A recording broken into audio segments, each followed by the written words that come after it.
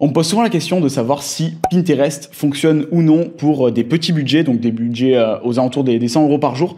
Dans cette vidéo, je vais vous partager un compte pour lequel on a dépensé à peu près 60 000 euros euh, sur une période étalonnée sur un an et demi, donc une moyenne à 100 euros par jour. Et je vais vous partager les résultats concrets qu'on a eu sur ce compte et le pourquoi du comment, comment on a fait pour obtenir ce type de résultats. Donc on se rend sur l'écran directement. En termes de résultats, qu'est-ce que ça donne? Donc on a dépensé un peu plus de 60K pour un ROS à 5,76 et plus de 348 000 euros euh, de générés qui sont vraiment d'excellents euh, résultats sur, la plateforme. Qu'est-ce que ça donne sur le, graphe? Ben, Comme vous pouvez le voir, il y a une énorme stabilité. Donc euh, si je fais glisser le, le, curseur, bon ça bug un peu parce qu'on est vraiment sur beaucoup beaucoup de KPI, mais on est sur à chaque fois des ROS au minimum à, à 3 pour les pires journées et après en moyenne on est à plus, plus de 5 et on est sur une fenêtre de conversion courte hein, uniquement sur les personnes qui ont acheté dans, dans la semaine. Donc il y a des ventes qui sont pas comptées en plus de, ça. Donc il y, a, eu des gros pics ici, ça correspond à des opérations temporaires qu'on a fait mais au global, sinon, la stabilité est vraiment bien présente sur une moyenne euh, à peu près à 100 euh, euros par jour. Donc il y a des périodes où on dépense plus, des périodes où on, dépense moins.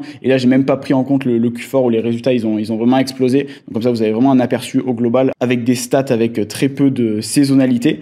Euh, donc si on regarde le, détail des campagnes, ce qui fait la particularité de Pinterest ici, c'est qu'on a quand même beaucoup de, campagnes. L'objectif sur la plateforme, vu qu'on est sur des campagnes qui sont en CBO, c'est d'avoir beaucoup de campagnes pour avoir cette possibilité de couper ou pas des campagnes sans affecter le reste euh, des, des ad groups à l'intérieur. Donc, comment fonctionne Pinterest? Vous avez des campagnes avec des groupes d'annonces et des publicités à l'intérieur. Donc si vous avez plusieurs campagnes, vous avez la main mise sur le budget, parce que le budget il est réparti au niveau euh, de la campagne. C'est pour ça que souvent on arrive avec des setups de comptes, avec souvent des dizaines de campagnes, pour pas perturber euh, le reste des, des ad groups et des annonces, pour pas perturber l'algorithme de manière globale. Si on regarde les autres statistiques, on a des CPM qui sont très bas sur la plateforme. On a fait à peu près plus de 35 millions d'impressions. Donc là on est sur un site qui est, qui est, quand même assez niché. Donc euh, pourquoi on dépense aussi 100 euros par jour? C'est qu'on touche la grande majorité de, l'audience avec ce budget-là. Et qu'on commence à, dépenser plus, on a déjà, déjà fait des tests, euh, dès qu'on a dépensé les, dépassé les, les 200, 250 euros par jour, on n'a pas tellement plus de résultats. Donc autant dépenser moins et derrière avoir un algorithme chaud qui va chercher uniquement les, prospects les, les, plus qualifiés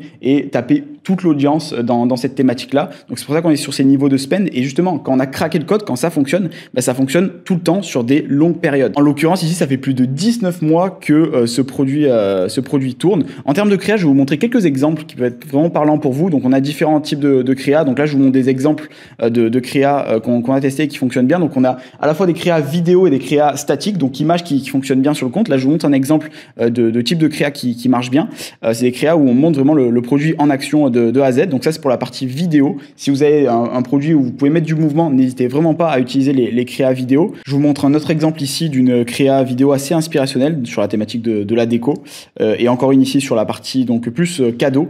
En fait, le but, c'est vraiment de montrer le produit en action et que les personnes se visualisent. C'est très important. Et après, au niveau des, créas sur Pinterest, qu'il faut prendre en compte, c'est que faut pas hésiter à faire des switches, faire beaucoup de tests. C'est pour ça qu'on a beaucoup de campagnes sur Pinterest. C'est que à la fois, on veut gérer cette partie budget, mais également, on fait beaucoup de tests pour pas avoir d'épuisement. Et c'est comme ça qu'on arrive à tenir des produits euh, sur, sur le long terme. C'est en faisant beaucoup de tests, beaucoup d'AB tests, couper ce qui marche pas, garder ce qui marche bien. Et à terme, vous allez trouver euh, peut-être, certes, 5 ou 6 créas sur le compte au global qui vont super bien marcher. Et le reste, ben, tout ça, ben, ça ne fonctionnera pas, mais il faut pas hésiter à les tester parce que vous pouvez passer à côté de beaucoup d'argent si justement vous ne faites pas l'effort de faire euh, ces tests qui sont essentiels. Donc là, je vous ai montré euh, la partie vidéo. Maintenant, des créas un peu plus statiques. Donc là, je suis sur le feed euh, Pinterest. Comme on peut le voir, il y a quand même beaucoup plus de, pins statiques que, que vidéo. Les vidéos ressortent très bien, mais il y a une répartition qui est quand même plus axée sur Pinterest, sur des pins statiques. Donc vous pouvez faire des pins qui, si vous êtes dans la mode, typiquement des pins qui ne ressemblent pas à des publicités. Donc des pins, c'est des épingles. Euh, donc euh, quand je dis pin, c'est épingle, donc que ce soit des images ou des vidéos. Ici, on a un exemple euh, d'une épingle classique qui ne ressemble pas du tout à une publicité, alors que ça en est une. Ce qui est bien sur Pinterest, c'est que la partie publicité, elle est très discrète. La seule différence, c'est que c'est marqué ici sponsorisé par en tout petit, mais les personnes, la majorité des personnes ne voient pas forcément les, publicités. Et donc quand vous créez une épingle de ce style, les personnes vont même pas faire attention à que ce soit une épingle en organique ou une publicité. Du coup, vous allez avoir des autres clics souvent qui sont bien, bien intéressants. Du coup, je vous conseille, là, c'est sur ce compte, c'était des épingles aussi statiques qui avaient bien marché. Il y avait eu un peu des deux, mais on avait fait des publicités qui ne ressemblent pas à des publicités. Donc n'hésitez pas à faire des tests en ce sens. Après, je vous montre un exemple ici. Donc celle-ci, c'est une pub qui ressemble un peu plus à une publicité, mais ça fonctionne très bien également. et là, bah, c'est pour une bague. Mais l'idéal ici, c'est quand même de montrer, si vous êtes dans la thématique des bijoux, des bijoux portés. Ça fait vraiment une, une belle différence. Mais ça, c'est une épingle qui a été épinglée beaucoup, beaucoup de fois. Donc là, on joue vraiment sur cette partie une femme qui offre à son copain ou à son mari, parce que sur Pinterest, on a une audience majoritairement féminine. Il faut toujours se mettre à la place de la femme qui scrolle sur Pinterest, qui vient s'inspirer, et on va lui proposer des produits qu'elle peut offrir à son copain euh, ou à son euh, conjoint directement. Si on revient sur les KPI euh, du compte, je vous ai pas partagé, mais en, réalité, on a dépensé un peu plus que, 60K parce qu'il y a des campagnes aussi shopping. C'était pas quelque chose qui avait bien fonctionné sur ce compte-là, parce qu'on n'a pas assez de, produits, et on est vraiment dans une niche. du coup, on a dépensé un peu plus de 61 000 et, pas, pas 60 000 euh, exactement. Pour un chiffre d'affaires de 350 000 euros, on est à peu près sur un taux de marge à 35% sur, sur cette boutique-là. Euh, et, euh, et, donc, ce que ça a donné, c'est qu'on a fait juste des micro-tests, hein, comme on peut le voir là. On a fait des micro-tests, on a testé 300 euros par-ci par-là. mais au final, ce qui a bien marché, c'est des campagnes à la fois de centres d'intérêt et à la fois de campagnes, des campagnes de mots-clés où on va cibler uniquement des personnes dans la thématique en question.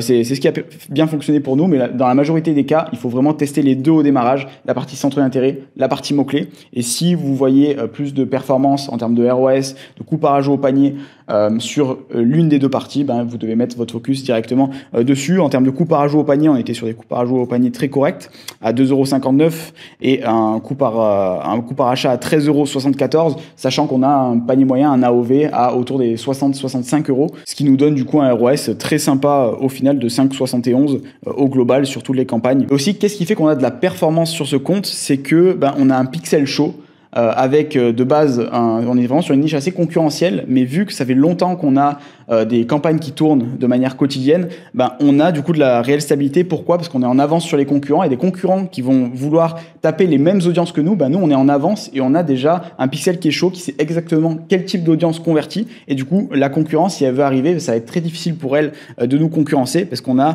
de l'avance au niveau de la data, on fait énormément de tests et du coup, ben, on a un coup d'avance et c'est pour ça qu'on arrive à avoir une telle stabilité. C'est pour ça que je vous rabâche beaucoup de tester différents types de créa, différents types de ciblage, euh, différents mots-clés. C'est super important pour garder de la stabilité et surtout avoir un coup d'avance sur la concurrence. Même si sur Pinterest, bah, quand vous êtes numéro 1, c'est assez dur de, vous déloger. Et c'est pour ça qu'on arrive à avoir une très belle performance au global. Donc voilà, là je vous ai partagé les, différents résultats, mais peut-être vous posez la question de votre côté si euh, votre produit, votre thématique fonctionne bien sur, sur Pinterest, si l'audience est adéquate, si votre produit peut bien matcher avec la plateforme. Du coup, cette semaine, ce que je mets en place, c'est 10 euh, créneaux dans mon agenda. la dernière fois, c'était parti vraiment en quelques minutes. Donc si vous voyez cette vidéo euh, dans, les premières heures, n'hésitez pas à booker un, créneau avec moi euh, où je vais analyser euh, concrètement votre e-commerce, voir s'il match bien avec Pinterest ou pas.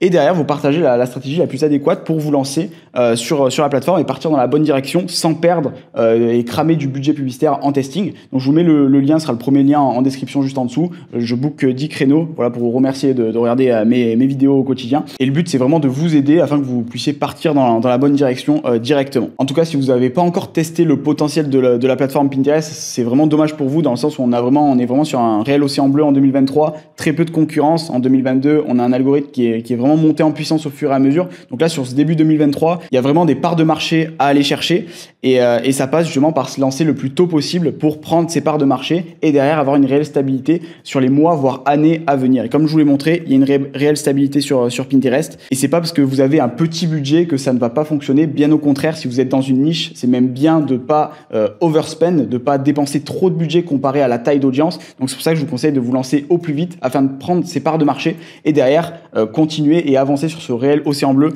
euh, qu'est Pinterest. Ce sera pas le cas sur les prochaines années. donc vraiment au plus tôt vous vous lancez, au mieux c'est pour vous. On arrive maintenant à la fin de cette vidéo. J'espère qu'elle vous aura aidé. Si le cas, n'hésitez pas à la liker. Je vous laisse du coup le lien de mon agenda en commentaire si vous êtes disponible pour effectuer un petit échange de 30 minutes où je vais vous partager la stratégie à suivre et voir si Pinterest est adapté oui ou non à votre e-commerce. Donc je vous laisse tous les liens en description et on se retrouve dans les prochaines vidéos au sujet de Pinterest. C'était Luc, ciao ciao.